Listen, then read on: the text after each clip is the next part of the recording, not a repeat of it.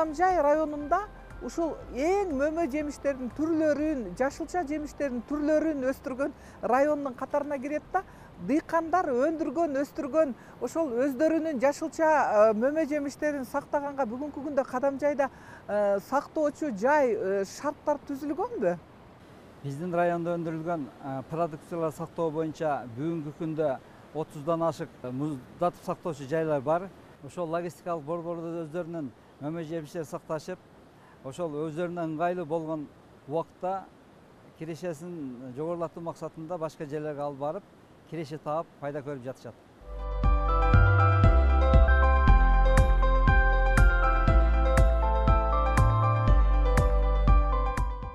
Биз атайын баткендеги катыраң тоонун түбүндө жайгашкан логистикалык борборго келдик. Бул борбордо мөмө жемиштер чындап эле сакталабы сиздер менен азыр чогуу кирип карап көрөбүз. Мен айнур султангазиева кеттик.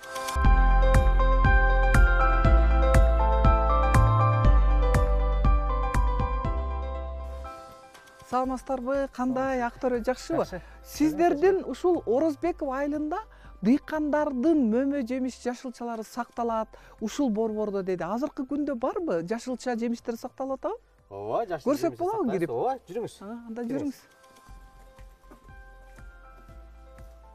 Аябай ичи чоң экен э? А, кайсы жагында ошондо мына бул жака киребиз. А бул жакабы э? Бул жака жүрүңүз. Бул жакта калемпирлер бул жакта э ай калемпир болгар калемпирдин жити келип атат ооба ушинтип сактап коебуз буларды азыркы учурда канча тонна же канча килограмм сакталып турат да? Бул жерде азыр э, калемпир где бир тогуз он тоннага жакын калемпир бар. А, азыркы учурда э? Азыркы учурда. Э, көбүнчө дыйкандар кайсы айылдардан кайсы райондордон келип сиздерге өткөрүп сактап турушат да бул жерде? Бизде эми азыр алып келгендери хальмион тараптан алып келет. Уч коргондон алып келет кызыл каядан ушул тараптардан өзүбүздөн айдеркенден алып келет ушул тараптардан алып келип ушул жерге коюшат. Канча мөөнөткө чейин сакталып турат да бул азыркы мына болгар калемпири канчага чейин болгар кал- калемпирлерден биз көп деле сактабайбыз. Себеп дегенде бул көпкө турбайт. Бир ай бир жарым ай. Ошол мезгилде эле кайра сатам ушул болгар калемпиринен тышкары мөмө жемиштер дагы башка камераларда сакталабы азыр азыркы күндө бар Курма бар жүрсөңүз көрсөтөйүн анда жүрүңүз көрөлү жүрүңүз мынакей эжеке ушул жерден коюлганбыз мына булардын баары хурмалар бул жерде жалаң хурмалар экен э хурма ичи муздаткычтын ичине киргендей болдук го ичи суук го муздак бул жерде азыр көп эмелери сорттору көп бу жерде шоколадный деп коет. Королек деп коет. Анан свеча деген сорттору ошолордун баарын алып келип ушинтип элдер сакташып анан бир аздан кийин өздөрү сатышат баткен облусунун баардык жеринде хурма өстүргөн дыйкандар э, жарандар ушул жерге өткөрүшүп сактап алат экен да э ооба. Бул жерде көп эмеден алып келет хальмиондон учкоргондон кызыл каядан могу майдандан деле алып келишти айдеркенден өзүбүздөн коюп атат. Анан алмаларды быйыл көп эме кылышпады.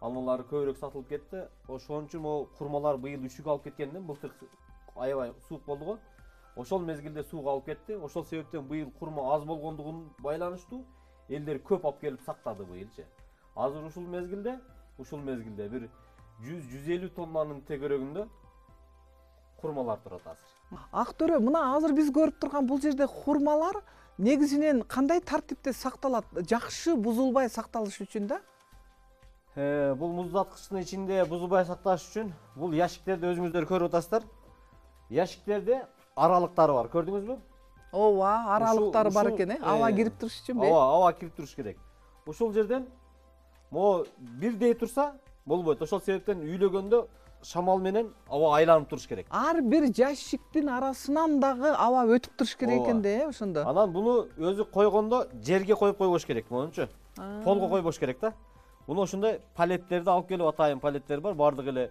көп жерлерде э, иштелет буларчы. Ушундай коюп койсо астынан дагы аба кирип турат. Астынан дагы өтүп астынан аба анан анан буларды койгондо көрдүңүзбү мына? Биз ачып койгонбуз. Ар бир бөлүктөрдү бир аз бир аздан ачып койгонбуз. Эки жыйылган ящиктердин ортосунда дагы аралык бар экен э? Ошол аралыктар сөзсүз болуш керек. Аралык болбосо бул жерде айлануу аз болуп калат да. Ошол себептен булар эме болуп бышып кетет же болбосо ийирип кетет бузулуп калышы мүмкүн экен да мүмкүн кандай сорттору канча убакытка чейин сакталган каяктарга экспортко кетет же кайда кетет сатылганы да курмаларды өзү хальмиондон марказдан көк тала мынабу учкоргон кызыл кыя майдан айдеркенден ушул жактардан алып келип элдер коюшуп атат бул сортторду айтып берсем эми шоколадный деп коет королек деп коет анан свеча деп коет лепешка деген сорттор ушундай. Ар түрдүү сортторун алып келип сактап э, буну ошол эмеге чейин эле сакташат. Жаңы жылга чейин гана сакташат. Ошого чейин. Мөөнөтү э мөөнөтү эң көп. Бул баягы аябай жакшы сакталган болсо бул бышып кетпейт да. Жакшы турат. жакшы турат эгер э? бышып кеткен болсо бышканын алып чыгып сатыша берет буларчы. Дыйкандар. Дыйкандар. Бышпаганы ошол бойдон тура берет. Ошол четинен алып чыгып сатып өзүбүздүн рыноктарга сатат бышкандарынчы.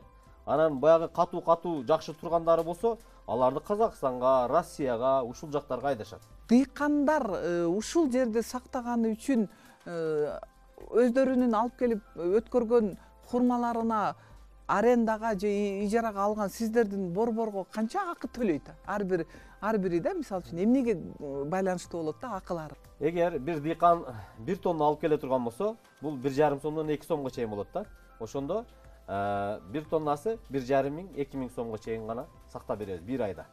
А, акысы бир жарым миң сомдун тегерегинде төлөнөт экен бир ай сакталат экен Бир тонна хурманы мисалы э? Ооба бул өзү биздин логистика борборубуз э, жакшы жерге курулган бул жерде бизде өзү айылда малина эң көп основной малина өскөндүгүнүн себебинен бул биз жерге бул жерге биз муздаткыч курганбыз муздаткычты эми биз холодильник кылып койдук да холодильникке эми азыр бул жерде иштеп аткан дыйкандардын баардыгы мөмө жемиштерини жер жемиштерини алып келип бир аз сактаса баалары жогору болот андан кийин сатса ал дыйканга да пайда бизге да пайда.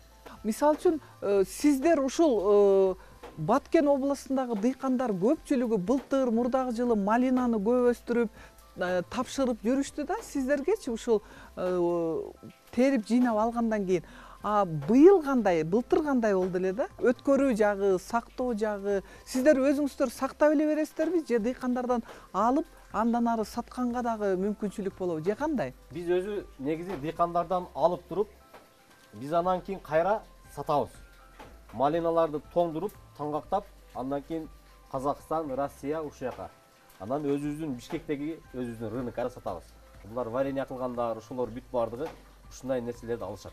Тоңгон малиналардычы мен азыр көрүп аткан аябай кубандырып атат да ошол биздин жарандардын дыйкан фермерлердин могу жерде хурманын түрлөрү жыйылып турат. А, ушул жалаң эле дыйкан фермерлердин мөмө жемиштерин сактап эле бересиздерби бул логистикалык борбордогу иштеген кызматкерлер же дыйкандар фермерлерге жарандарга башка кызмат дагы көрсөтөсүздөрбү биз элдер менен дыйкандар менен көп кызматташабыз алар менен чогуу иштешебиз быйыл өзү э, биз клубниканын көчөттөрүн алып келдик элдерге бүт тараттык бияктан баштап О- э, орозбеков айылга ынтымак айылы хальмион могу эме жака төө моюн жака эгилди көк талак эгилди дыйкандарга жеңил болуш үчүн биз өзүбүз клубниканын уруктарын көчөттөрүн алып келип элдерге дыйкандарга тараттык жана алардын кайра сатканда биз өзүбүз сатып алабыз алардын баарын кайра сатууга өзүбүз жардам беребиз. Эки тараптуу тең аларга ыңгайлуу болот экен да э урук көчөтүн дагы камсыз кылып берип анан өзүнөн башка жака барып сатам деп баш оорубайт экен да сиздерге өткөрөт экен да э? урук көчөттөрүн биз мындай кылып берип атабыз бир жылга э, келишим менен берип атабыз бышыкчылыкта биз ошолор менен эсептешебиз бышып терип жыйнап алгандан кийин бышып терип жыйнап алгандан кийин анан эсептешебиз деп ошол себептен биз көчөттөрүн дагы бердик мисалы үчүн өзүңүз карап көрсөңүз биз аларга көчөттөрүн уруктарын берип туруп анан кайра биз ошолор баягы кыйналбаш үчүн алардын бышкан мөмөсүн кайра биз өзүбүз сатып алабыз дыйкандардан дыйкандардан өзүбүз сатып алабыз азыр эже экөөбүз сүйлөшүп атканда шыркылдап эме болуп атат го суунун үндөрү угулуп атат го. Ооба да тарс турс деп атат да. холодильниктин эмесинен көрдүңүзбү? А холодильник бул. иштеп турганда баягы ичине кар толот да ошол карларды эритет. Эмелеричи Э, тендери бар. Анан ошол бияка суу болуп түшөт. А ошонун э, Ошонун- үндөрү экен да э? Э, үндөр болуп атат. Эми дагы бул жерде жашылча жемиштерди мисалы үчүн мына азыр биз көрүп турабыз да хурма. Хурма быйыл аз болгон үчүн эле атайын сактап анан э, акырын акырындан алып кетип атабы дыйкан фермерлер. Же жылда эле көп болгон учурда деле сактачу беле жылда эле сактайт хурманы жылда эле сактайт. Өзү негизи алар э, бир аз сактайт дагы андан кийин сатышат. Себеп дегенде бул хурма жылуу жерде турса бат бышып кетет да. Буздагыраак жерде туруш Э, керек. элдер өздөрүнүн үйүндө сактай албайт муну. Алмадай эмес бул.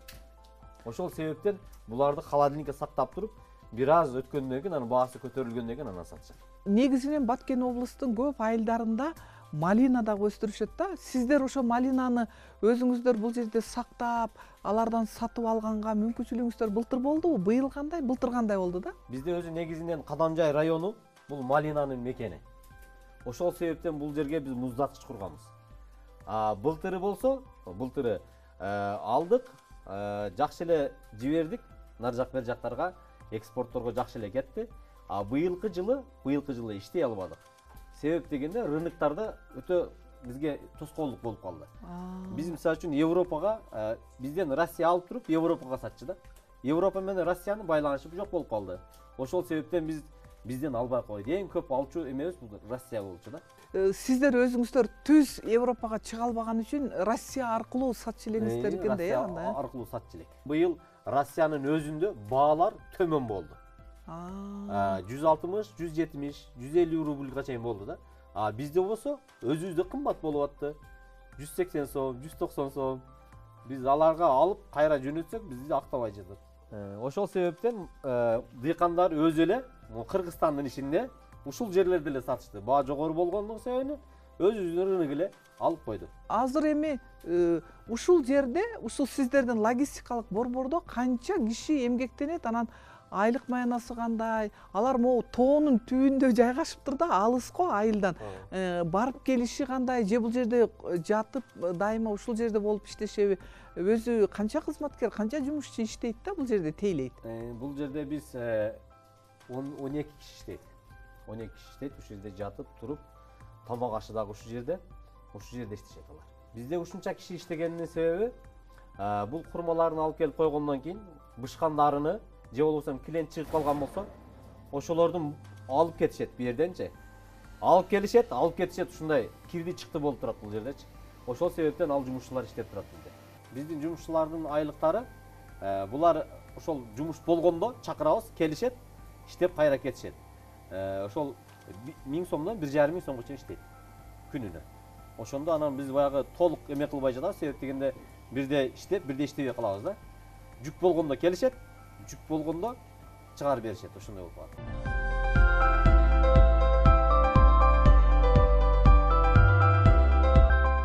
Мына биз азыр баткендеги логистикалык борбордо турабыз. Бул жерде тонналаган хурмалардын түрдүү сорттору дыйкандардыкы сакталып аткан мезгили. Мына карасаңыздар ар бири ирети менен жана ортосунан шамал өтүп туруш үчүн аралыктары дагы сакталган. Ошондой эле э, полдон дагы жерден дагы бийигирээк туруш керек себеби чирип кетпеш үчүн дагы. Дыйкандар жакшы киреше пайда алыш үчүн бул логистикалык борбор азыркы учурда жакшы кызмат көрсөтүп атканын көрүп биз абдан кубандык.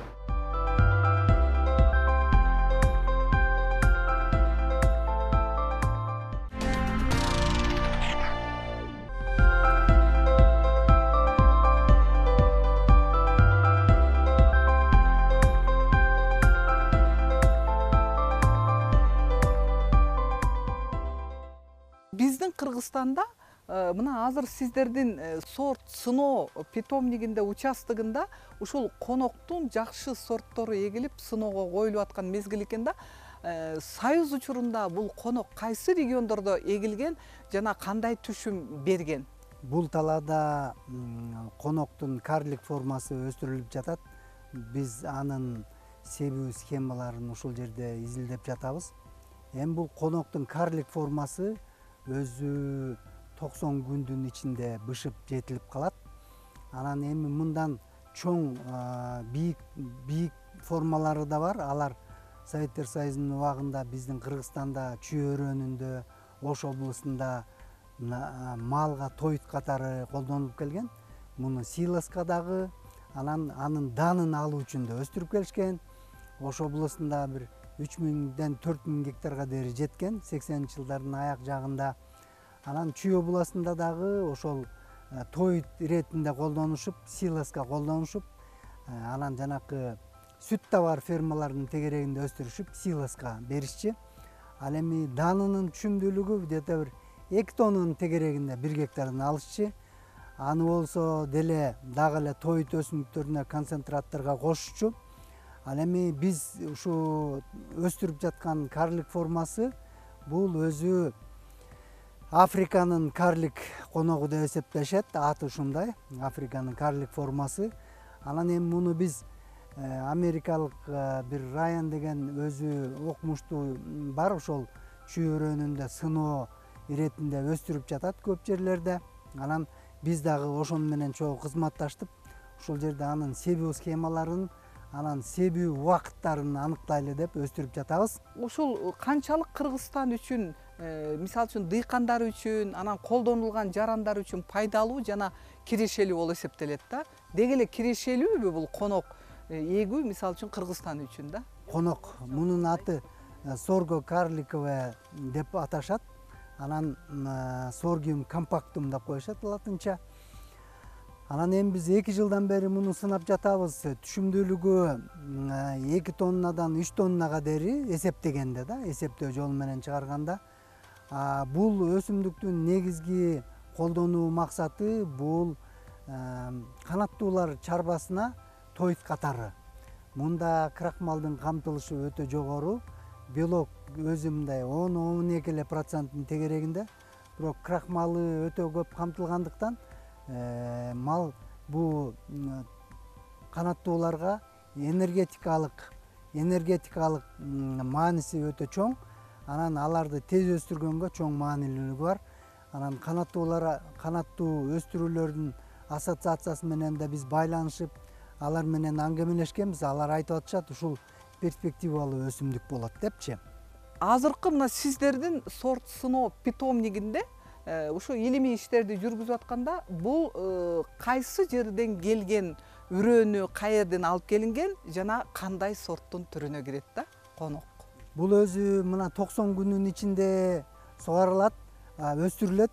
Анан эки сугарылат буудайдай эле сугарылат да. Буудайдай эле сугарып мына август айынын август айынын ортолорунда эле ушу бышууга жетип калат. Анан эми өзүнүн себүү мөөнөттөрү жылып турат. Өзү марттын жыйырмаларынан баштап эле ары карай себе баштасак болот экен.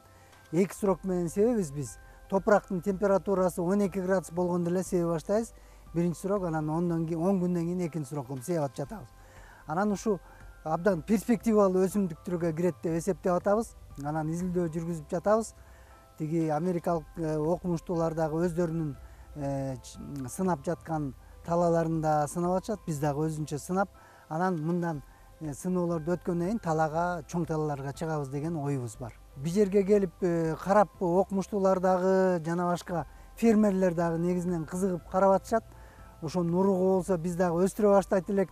Э, себүүнүн нормасын анан себүүнүн даталарын өзүбүз эле аныктап алат деп кыйын болуп бирок үрөөнү жетишибизба анткени раян ф один алып келген бул өзү аргынга кирет. Анан биз экинчи муунун өстүрүп атабыз азыр бул жылда. Анан пайдалуу өсүмдүк болот го биздин фермерлерге деген ойдо туруп атабыз